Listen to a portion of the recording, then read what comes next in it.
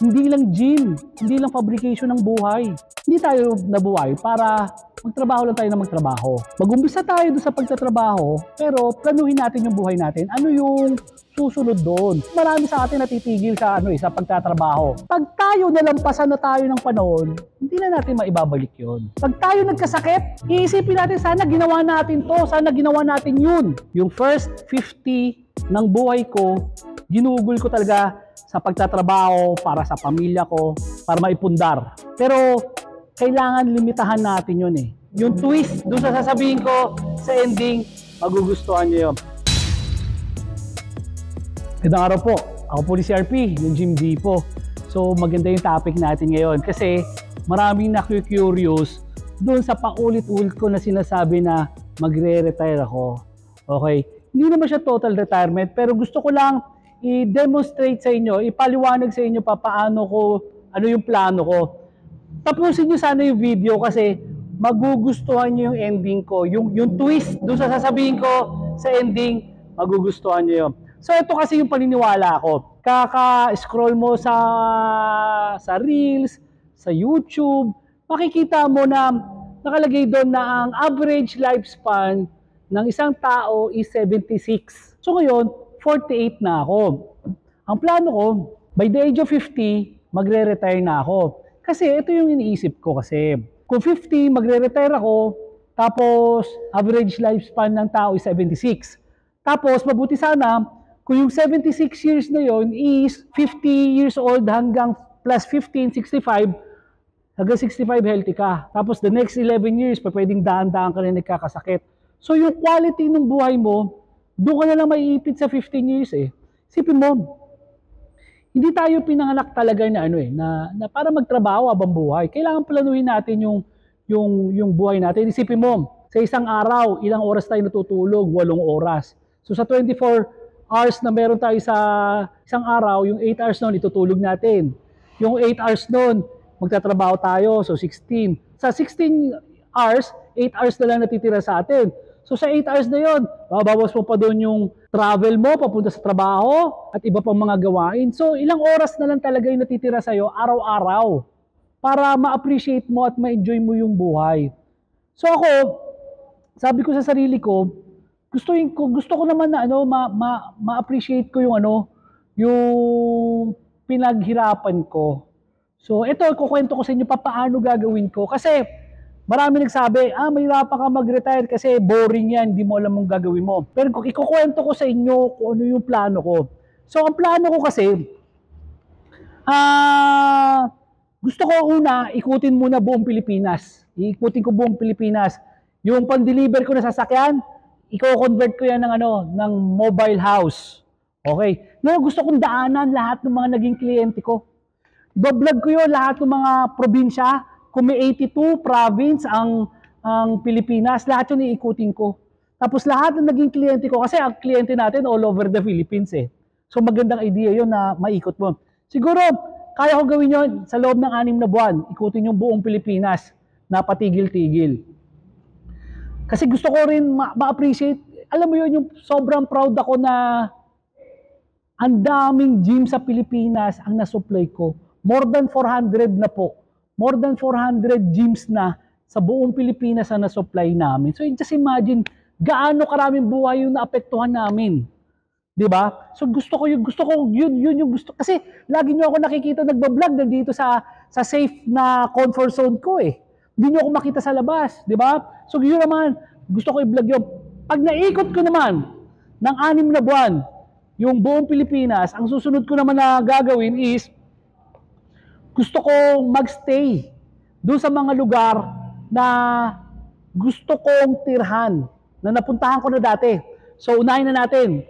So unang-una sa ano ko is Mindoro sa bandang Puerto Galera. Susunod Bohol, susunod Palawan, susunod Cebu, etc. etc. Ang gagawin ko diyan, doon sa Puerto Galera, let's say, doon sa bayan, hindi na doon sa White Beach. May tropa tayo dyan. Hey, Ferds, kamusta? Hindi, hindi ako magtatayo ng gym sa White Beach. Doon tayo sa may uh, malapit sa Balatero or sa bayan, mas malapit. So, ang gagawin ko doon, bibili ako ng property doon sa Puerto Galera. Uutangin natin yun, syempre, di naman ako mayaman eh. Uutangin natin yung property sa Puerto Galera, tapos patatayuan natin ng ano, ng dalawang palapag. Yung unang palapag, gym. Yung pangalawang palapag, bahay. Tapos pwede mo pang paupahan eh. Kasi syempre, kung mga 200 square meters yung lupa, yung gym, kaya dalawang bahay doon na malaki sa second floor. Yung unang bahay, akin. Yung pangalawang bahay, pwede mo paupa yon. It's either sa monthly or doon sa mga bakasyonista na gustong mamasyal sa Puerto Galera dahil may market din yun eh, di ba? So maganda nito, hindi ako problema sa ano eh, doon sa pambayad, sa monthly amortization ng property na yon kasi yung kikitain ng gym plus kikitain ng paupahang bahay sa taas, kahit 100% pa noon ang ibayad ko sa bangko, walang problema. Kasi yung pang-araw-araw ko naman, una, pwedeng hinuhuli ko. Kasi ganun yung gusto ko. Yung kakainin ko, huhulihin ko. Kasi tabing dagat ang Puerto Galera eh. So gusto ko ano, siguro nung nakaraan baka dati ako mangingisda eh. Kasi yun yung na-envision ko na gusto ko lifestyle na may bangka ako, mangangawil ako, maglalambat ako, huhulihin ko yung kakainin ko. Or itatanim ko yung kakainin ko. Ganun yung lifestyle na gusto ko. So, yung overhead expense ko sa pang-araw-araw napakaliit. So, ngayon pa lang na ikinukwento ko sa inyo, nakikiliti na yung utak ko kasi gusto ko ganoon. Gigising ako ng umaga, manguhuli ako ng isda. Si Ferdy, Ferds, uh, Katakis, uh, shout out, naging kaibigan ko yan si Ferdy. I mean, uh, napakilala ng tropa, naging kliyente, nagtayo ng gym. May gym siya dyan sa ano, sa White Beach. Puntahan nyo dyan sa may Buenalin. O, kung nasa Puerto Galera kayo at gusto nyo sa White Beach, gusto nyo magbuhat, puntahan nyo sila sa White Beach sa may Buenalin. So anyway, Ganun lang, nakakaingit yung si Ferdy kasi pag nakita mo nagbablog yan, sa umaga or sa gabi, sa hapon, na mamangka or nagsasurf, paddle, tapos nanguhuli ng isda, ganun na gusto ko. Ganun na gusto ko. Gusto ko i-enjoy yung buhay ko ng ganun. So, kaya ko magstay ng ganun ng isang taon sa Puerto Galera. Okay? Tapos, dito kasi sa Cavite, palibasa, dito ako lumaki, ang dami kong kakilala, ang dami kong kaibigan. Pero, gusto kong isipin na hindi dahil dito ako pinanganak, kaya ako ganun lang. Gusto kong ulitin yung cycle na kahit saan man ako pumuntang lugar, kaya ko maging pala kaibigan. Kaya ko makikapwa-tao sa lahat. So kung ano yung image ko dito sa Cavite, ganun din gusto kong mangyari sa ano, sa Puerto Galera. One year. One year. Okay, second year. Second year, saan naman tayo? Sa Bohol doon tayo sa Alona Beach. Panalo doon sa lugar na yon. Alam niyo yun kung mga nakapunta kayo sa sa sa sa Bohol, no? So, ganun din gagawin ko. So, uutang uli ako sa bangko. Tapos, patatayuan uli ng gym sa baba, dalawang bahay sa taas, paupahan. So, i-repeat ko yung cycle uli. So, hindi ako problema sa sa pambayad ng loan kasi kahit 100% ng upa sa bahay at 100% ng kita sa gym is pambayad ko na ng, ng ano. Kasi hindi ko naman kailangan ng ano eh. Kumbaga nakapagpundar na ako. So hindi ko na kailangan pa pagyamanin pa yung sarili ko. Kasi by the time na 50 ako, marami na akong Gym Republic na kayang sumuporta sa akin. At sa mga anak ko at sa mga apo ko. So, yung mga bibili ko properties, kaya sa Bohol, tsaka sa Puerto Galera, bibiling ko lang yan for convenience. I mean, may matitirhan ako pero hindi ko kailangan umupa. ba? So, gamitan pa rin ng utak. So, lumalaki yung assets ko, kada lugar na punta ko, lumalaki yung mga properties ko, pero hindi ako ang naglalabas. Hindi, wala akong perang ilalabas. Yung mga properties na yon, yun yung magbabayad para sa sarili nila. Tapos kagaya na sabi ko, sa Bohol, may dagat din doon. Ganun din na ko. Manguhuli ako ng dolphins, tapos papakawalan ko ulit. Siyempre. Pero, ibig sabihin, kaya ko rin mangisda doon. Kaya ko rin magtanim doon. Uulitin ko uli. Kasi gusto ko ma-appreciate yung buhay eh. Parang alam mo yon dito na ako lumaki sa Cavite. Marami na ang nakakilala sa akin dito. Marami akong kilala. Pero masarap isipin na lumalawak yung mundo mo pagka, pagka ganun yung ginawa mo. So, nagigets yung kinukwento ko. So, After a year, lilipat na naman ako. Ganon, repeat.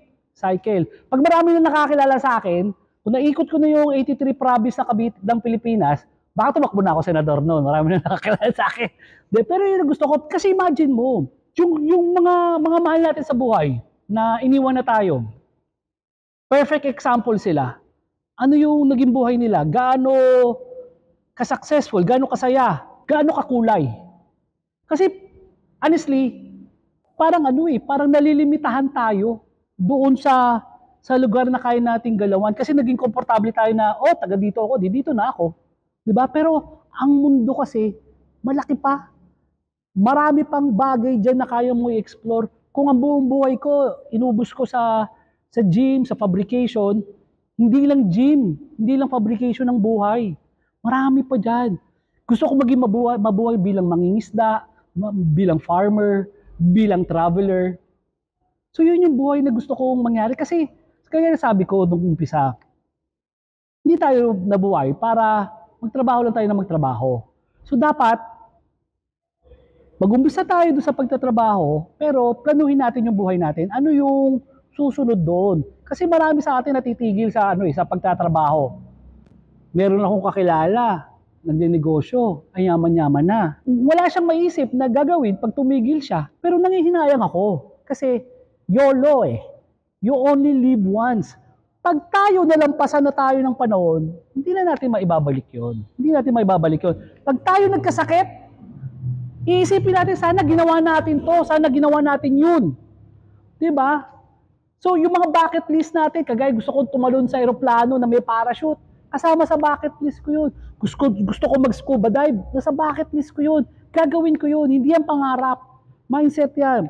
So, kailangan natin i-enjoy. So, yung first, sa akin ah, para sa akin, yung first 50 ng buhay ko, ginugol ko talaga sa pagtatrabaho, para sa pamilya ko, para maipundar. Pero, kailangan limitahan natin yun eh. Kailangan puldukan natin yun.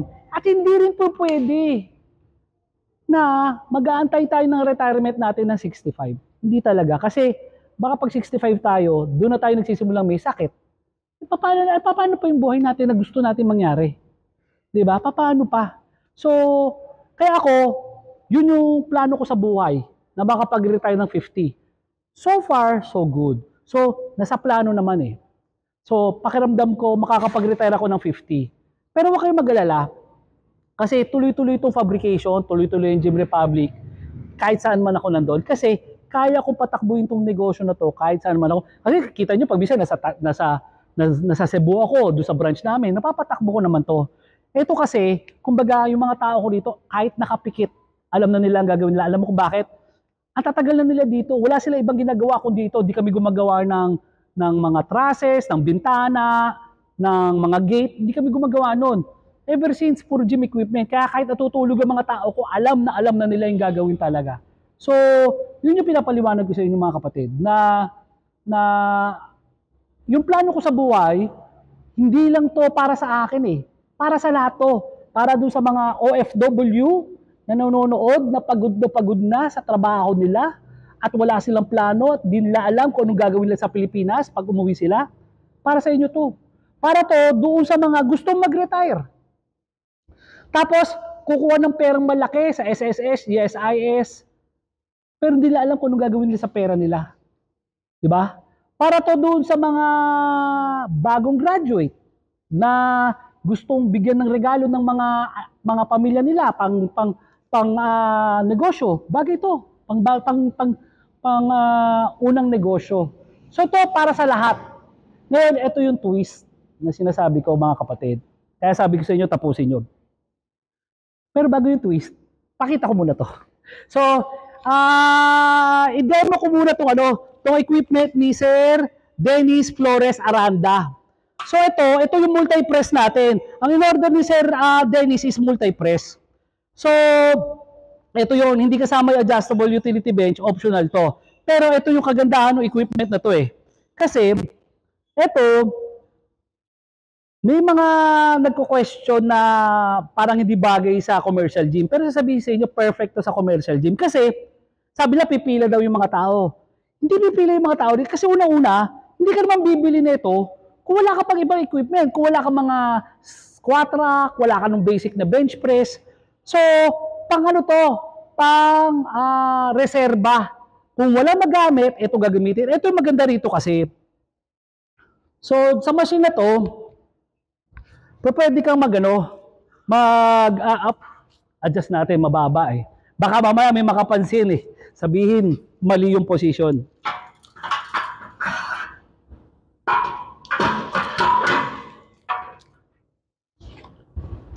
So ito, to equipment na to, oh, sakto to, no?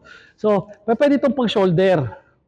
Adjust mo, kung medyo uh, masyadong forward, atras mo konti. So, perfect to pang shoulder. Ang maganda kasi dito sa equipment na to, kahit wala kang spotter, yun yung nakakatakot kasi sa gym eh. Pag nagbuhat ka ng mabigat, tapos uh, wala kang spotter, nakakahiya pagka hindi mo may sampa sa rack. So ito, safe na safe kasi walang babaksak sa'yo na equip na, na barbell. Plus, maganda rito, ang last movement mo kasi is pababa. Hindi ka tulad pagka nag-shoulder press ka, ang last movement mo, kailangan mo may push para may rack, may lagay sa, sa rack yung barbell. Doon nagkakaproblema kasi pag minsan napiga mo na eh. So ito hindi. Pag hindi ko na kaya, bababa ko na lang. Plus, meron tayong tinatawag na ano, up to failure na program. Yung up to failure na program, actually, base sa opinion ng iba, mas effective to na mag-build ng muscle. Kasi, hindi nag-build yung muscle doon sa comfort zone niya eh. Doon sa unang mga reps mo, hindi ka makaka-build halos ng muscle doon. Nag-build ka doon sa last reps na hindi mo na kaya halos. So ito, kahit na nanginginig yung kamay mo, isagad mo, okay lang. Bababa mo lang to. So, wait, there's more. Hindi, hindi ito natatapos doon sa sa uh, shoulder press kasi pwede mo naman tong gawing eto may, may lever tayo rito ha. So uh, ilalagay nyo lang to kung saan sasakto yung kamay nyo. So kung dito yung yung incline nyo, Kagaya ito, sakto sa akin, dito. So, kaya mag-incline ito. And so on and so forth. Kasi, pwedeng mag-incline,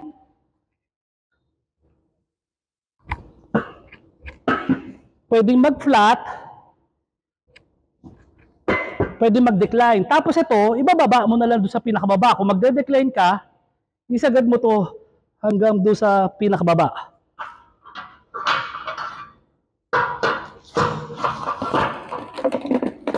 So yun, magde-decline ka. Pero wait, there's more. So, kaya siyang shoulder, kaya siyang incline, kayang flat, kayang decline, apat yon. Pero bukod doon, kaya mo pang mag-row. Ang gusto ko sa rowing kasi dito, lagi ko sila sabi, yung range of motion. So, tingnan mo to yung range of motion ko. Perfect yung angulo niya na diretso. Kasi, pag barbell row, ang gravity pababa. Kaya pag gumanon ka, nakabaluktot yung ano, yung barbell, tapos hinihigop ka pababa eh. Hindi ko tool to, paharap, kaya kayang-kaya mong kontrolin. Nakabuka lang ako dahil sa adjustable bench. So, perfect na perfect to para sa row. Pwede rin siyang mag-shrug. So, anim na exercise yung magagawa mo dito. So, ito, kaya sabi ko, ilalaban ko to na maganda rin to sa ano, Maganda rin to sa commercial gym. So, mabalik tayo do sa twist. So, ulitin ko ulit. 48 ako. Pagdating ko na 50, magre-retire ako. Tapos, ang quality life na inaasahan ko is 15 years. So, 50 to 65 quality time. Magagawa ko kung ano gusto kong gawin. Tapos, 66 to 76, maaaring may sakit na ako noon. Hopefully, sana wala kasi healthy naman yung lifestyle natin. Pero, hindi natin masabi. No? So yun yung plano ko. Pero ito yung twist kapatid. Bakit mo ako gagayahin? Natitigil ka sa pagsikwenta ka na. Kung mas bata ka pa, kung ako, alam ko na, kung alam ko ngayon, 10 years ago, 10 years ago kapatid, nag-retire na ako. So ang retirement, Nasanay tayo ng retirement 60, 65. Na-program tayo ng kultura, na-program tayo ng community, na-program tayo ng society na ang retirement is 60, 65. Bakit? Kasi ganung edad, di pa tayo nakakapagpundar eh. Di ba? Pero kapatid, kung nanonood ka dito at matagal ka na sumusubaybay, alam mo na posible yung sinasabi ko. Posible yung sinasabi ko na uutang ako sa bangko magtatayo ako ng bahay, ng, ng building, sa first floor, na andun yung gym, second floor, nandun yung bahay, may paupahan ako. Alam mo yung kapatid, buhay na buhay ka na doon. Yung mga clients natin na, na may sariling pwesto ng gym, yung mga clients natin na may inuupahan, alam nyo, posible yun eh. Magkano yung upa nyo? Di ba? So, yung upa nyo, yun na ilalagay mo ngayon sa monthly amortization. So, ito yung sinasabi ko, pinanood nyo ako hanggang dulo, pero hindi nyo kailangang antayin na gawin yung gusto kong gawin sa edad na 50. Kasi isipin mo, kagaya na sabi ko, sa edad na 50, ang ina-anticipate ko, 15 years na lang ng quality life. Di ba? So what if, what if, kung 30 years old ka pa lang, nagawa mo na to, kaya mo to. Promise, kayang-kaya mo to. Kung 30 years old ka palang nagawa mo to, at 65, yung ina-anticipate mo na quality life, so may 35 ka pa na, na, na years na natitira sa buhay mo, kapatid. Yun yung gustong-gustong gusto ko na ma-realize ng mga anak ko kung bakit ako nagpupundar ng ganito para sa kanila. Kasi ang gusto ko, darating sila sa murang edad, magre-retire na sila para ma-enjoy nila yung buhay nila. Mga kapatid, kagaya sabi sa inyo, gigising ka araw-araw, marirealize mo, naging routine ng routine ng routine ng routine ang buhay natin. Pag minsan nakakasawa yung ganun. Kailangan natin i-enjoy. Sabi ko nga, mabuti kung totoo yung reincarnation at pag namatay ka, ma-reincarnate ka. Paano kung hindi? Diba? Minsan lang tayo dadaan sa buhay na to. So bakit hindi gawin natin makahulugan? Gawin natin makulay? At yung mga natutunan natin na to, ibahagi natin sa mga anak natin nang para sa ganoon, pag sila na yung dadaan sa, sa kalsada na dadaanan na dinaanan mo, maluwag na yung kalsada at alam na nila ang direksyon kung saan sila pupunta. Gandang araw po, ako po si RP ng Jim po. Maraming salamat.